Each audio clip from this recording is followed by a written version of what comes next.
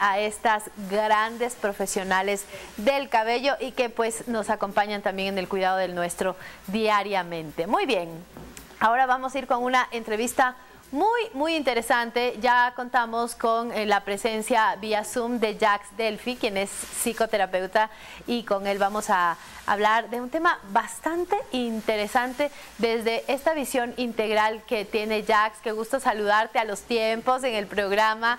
Gracias por tu aporte del día de hoy.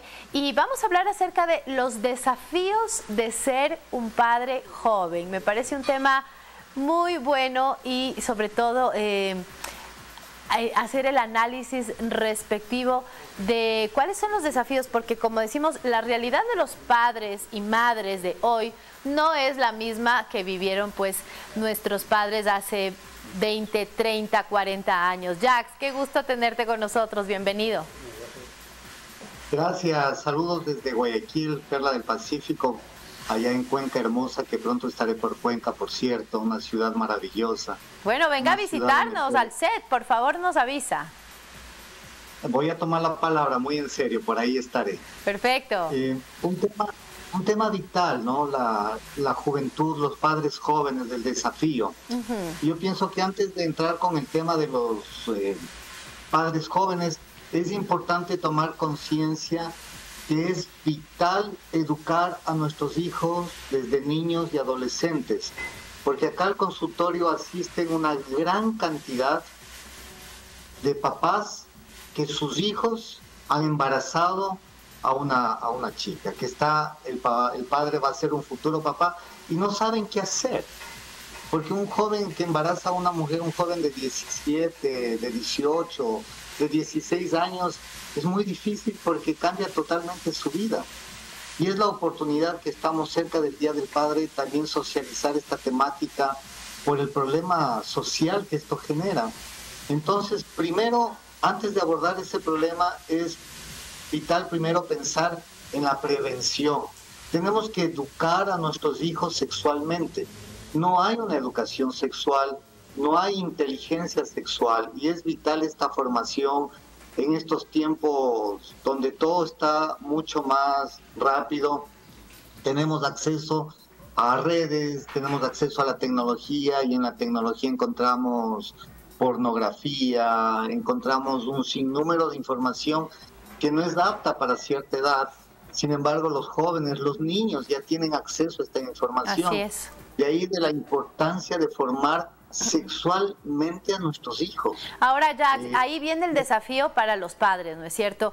¿Cuál es la recomendación que tú nos puedes dar precisamente para trabajar en prevención con nuestros hijos? No solamente en la parte sexual, sino el hecho de prepararnos para ser padres un día, que abarca pues todo este campo, ¿no? ¿Qué es lo que tú consideras deberíamos hacer? El primer paso es como padres tenemos que crecer como padres. Y ese crecimiento es ser contemporáneos a lo que pasa en este momento en el planeta y en el país. Viene un caso acá al consultorio, una, una pareja y dicen, por favor, ayúdenme con mi hija. Y tengo la entrevista con la chica, una chica de 16 años, y le digo, ¿por qué ese estado depresivo? ¿Por qué estás así? Me dice, porque no puedo hablar con mis padres, me da miedo, me da vergüenza, me da vergüenza hablar lo que pasa. En el colegio mis amigas se encierran en el baño y tienen relaciones sexuales. 16, 15 años. Wow. Entonces, y tiene miedo la, la chica de comunicar a sus padres, porque los padres muchas veces tomamos una actitud de analfabetismo emocional, de analfabetismo sexual, analfabetismo sentimental y no sabemos cómo conducirnos y pensamos que la represión es el camino y la represión no funciona, podrá funcionar un poco tiempo, pero no podemos mantener todo el tiempo un puño. Algún momento tenemos que abrir, porque la mano está diseñada para estar abierta. Igual los humanos estamos diseñados para abrirnos al mundo y saber tomar esa información. Por eso es vital formar al ser humano. No somos seres humanos porque tenemos un cuerpo físico. Pasamos a ser seres humanos cuando tenemos una formación integral en lo material, sexual, emocional, sentimental y comunicacional. estos códigos son importantes trabajar desde niño y en la parte ya abordando directamente en lo que es evitar primero que sean padres a corta edad, educación sexual. Tal vez de pronto hay padres que no están de acuerdo a que sus hijos tengan relaciones sexuales tempranamente. Sin embargo, no es lo que uno quiere, es lo que está pasando en la sociedad.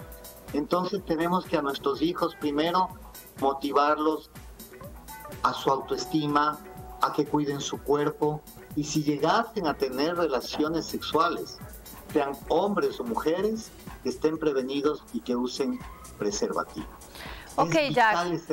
Ahora, eh, mm, claro, y a los padres como tal, tal vez ahí es donde cuesta abrirse a hablar estos temas con nuestros hijos, más cuando también vienes de una escuela en donde el trato fue igual o incluso peor, más represivo todavía, ¿no? Allí eh, los padres dirán, bueno, no sé cómo hacerlo, me siento incapacitado, como tú bien eh, utilizas el término analfabeto en estos aspectos sexuales, emocionales.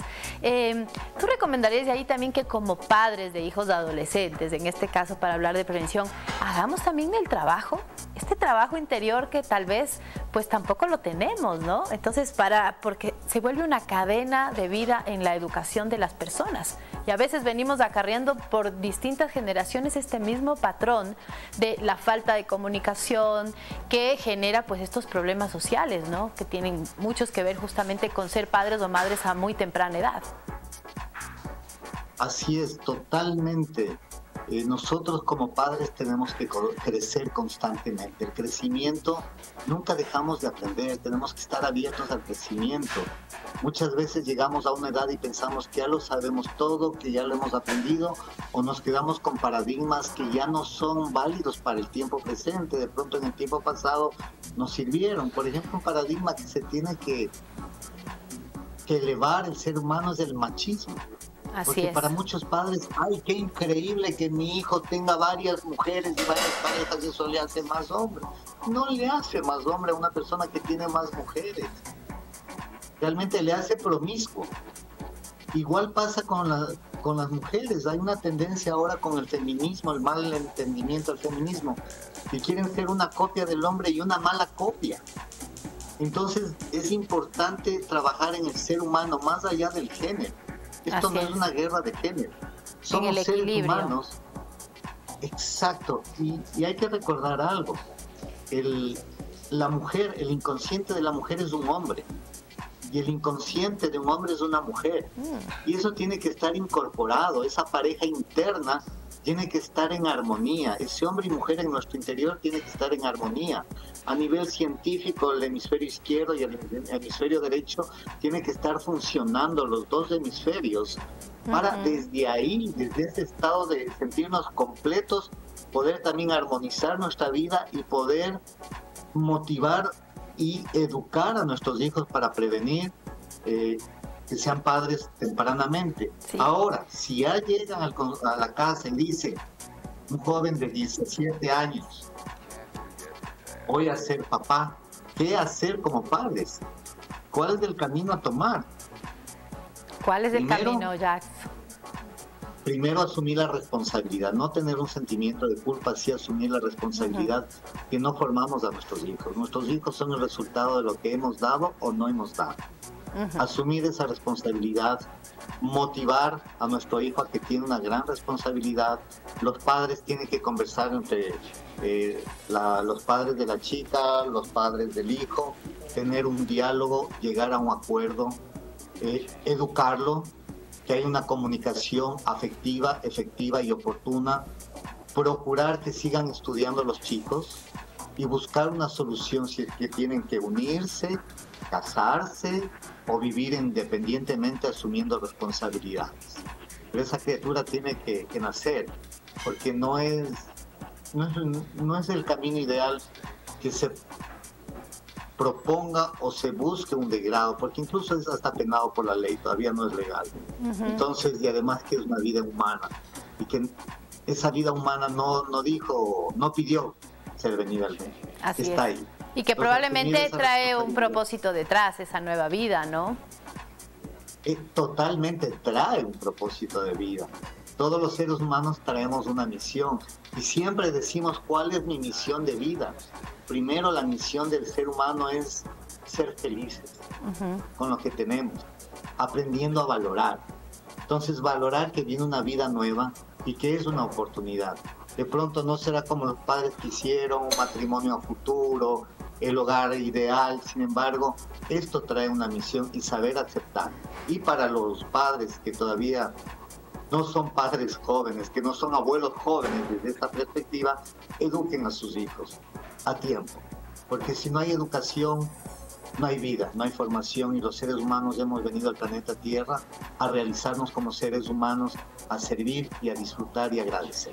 Así es, mi querido Jax, queremos agradecerte por este hermoso mensaje, esta hermosa reflexión que nos dejas a propósito del Día del Padre y eh, pues de estos escenarios cuando la paternidad llega a edades muy tempranas, del involucramiento de los padres allí, la forma de educar en prevención es muy importante y el trabajo interior en la responsabilidad de lo que nos atiende como papás, como bien tú lo has dicho, el trabajo nunca termina, prepararnos, autoconocernos, sanar será importantísimo. Así que Jax, bueno, cuando venga a Cuenca, por favor, nos llama, agendamos cita y aquí lo recibimos en vivo, que será muchísimo mejor todavía. Muchas gracias, tienes un, talento para saber resumir, excelente, te felicito y va a ser un honor estar en los estudios de Telerama en Cuenca. Bendiciones para esa hermosa ciudad. Muchas gracias, Yago. Un placer también tenerte. Y ahora vamos a ir a una corta pausa comercial. Cuando volvamos, regresamos con nuestra querida Katy para ver cómo avanzan esos deliciosos rollitos primavera esta mañana. Venimos enseguida.